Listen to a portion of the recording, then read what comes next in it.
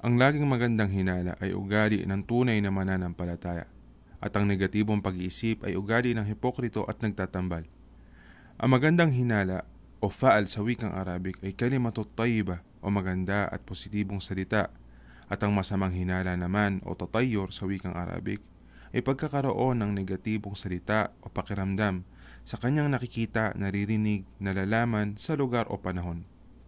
Ang magandang hinala ay pinahihintulutan sa Islam, samantalang ang negatibo ay maliit na shirik o pagtatambal na pwedeng humantong sa malaking pagtatambal.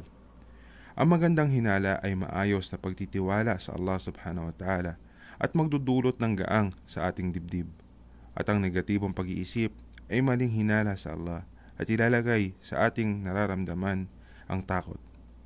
Kaya tayo ay laging maging positibo sa lahat ng bagay at huwag magkaroon ng masamang pag-iisip.